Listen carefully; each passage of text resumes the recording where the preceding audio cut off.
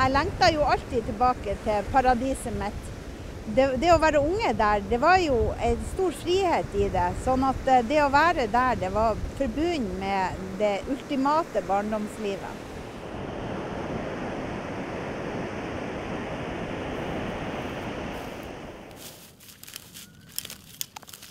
På vei inn i en verden som en gang var hennes.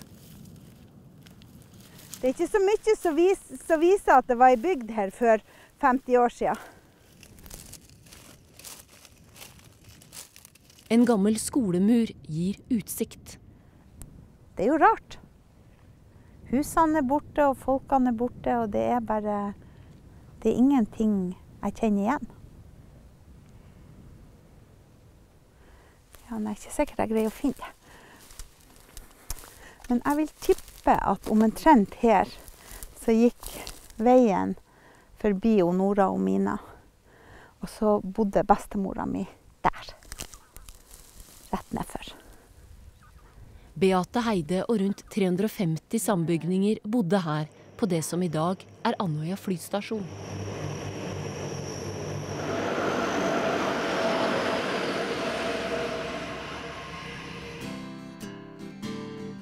Alt var så stilt. Hvor var folket blitt av?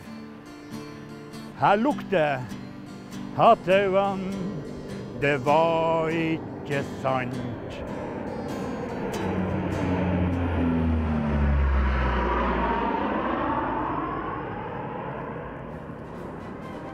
Bygda Haunes hadde både skole, forsamlingshus, tre butikker og egen havn.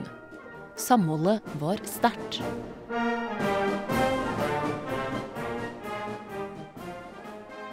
Men for sju år gamle Beate skulle denne verdenen forsvinne. Ute i verden skjedde det ting som skulle få store konsekvenser.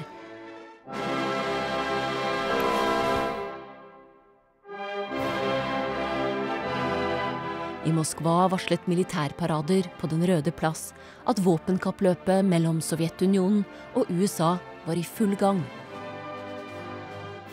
Natos råd har den øverste ledelse av hele samarbeidet.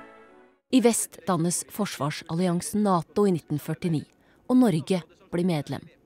Forsvaret bygges kraftig ut. Noen er bygd for nasjonal regning. De fleste for felles Nato-midler. Tre år seinere vedtar Nato å bygge flyplass på Andøya.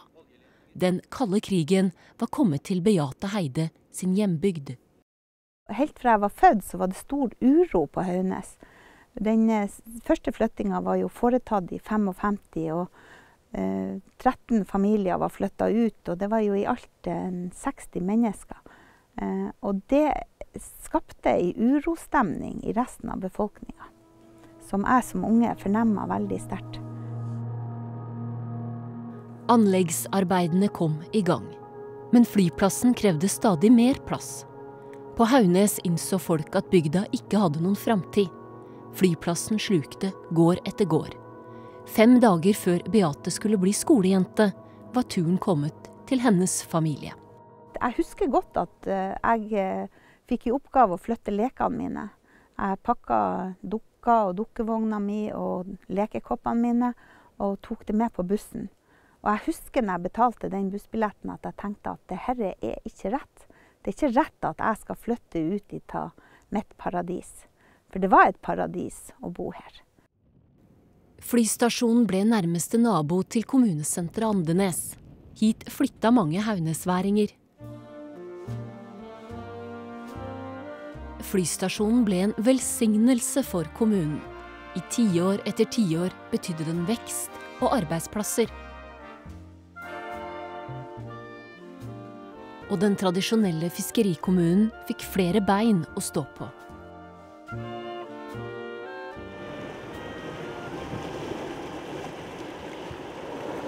Ja, det er, det er til stede som et slør i eh, livet mitt. Eh, som en lengsel, som, eh, som en søken etter det dette. Men det hjelper på når vi begynner å få snakka om det, og at vi er flere som har de samme følelsene og kan få et språk på det. Og si at eh, jo da, det var nok rett at Haugnes ble bygd ut til Forsvaret, men vi tapte noe. God dagen, god dagen. Takk skal du ha. Peder, herregud, hvor artig. Du som har på gråtass. Ja, det har jeg. Ja, det har du på inne, inne i Breivika. Ja. Ja. Du, du blir faren til han Geir. På vei til der barndomsbygda lever videre. Dette er hennes utmark. Så gården ble jo tatt. Ligger innenfor flyplassgjerdet. Men utmarka besto. Så de måtte ikke ut med de første. ja, de var de første. Hvor de var mellom 55 og 57 da? I den gamle utmarka har flere tidligere haunesværinger bygd seg hytter. Og her har de også sin egen møteplass. Her var ei gammel hytte som sto her, så de reiv Ja, så reiv de den, og så ordna de den som Aksels plass. Så det er jo så fin plass her. Det er det eneste minnet vi har fra Haunes. Det er her så vi møtes. Anne Peder har ikke kaffe heller. Nei. Kan du huske at du var med far din da han dirigerte Ja, mannskolen? Hva du husker fra det? nei, jeg jeg var nå med på, på skolen. Det var nå der de øvde. Det siste jeg fant av rester på Haunes, det var ei klunkspann. Og den har jeg tatt behørig vare på. Så den står faktisk nede i naustet mitt. Kom inn fra havet ei juli natt og landa i fjæra på Haunes. Alt var så stilt. Hvor var folket blitt av? Her lukter av tauene, det var ikke sant. Ja, vi sang Haunes, Haunes, Haunes for deg og for meg, alle sammen. Vi sang Haunes, Haunes, Haunes for deg og for meg.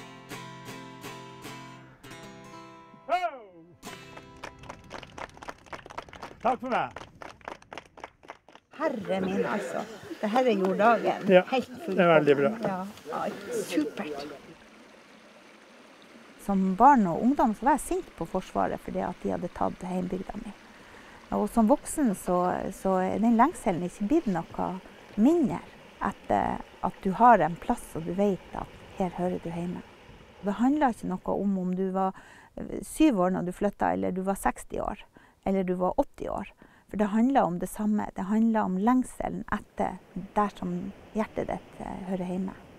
Altså heimbygda di.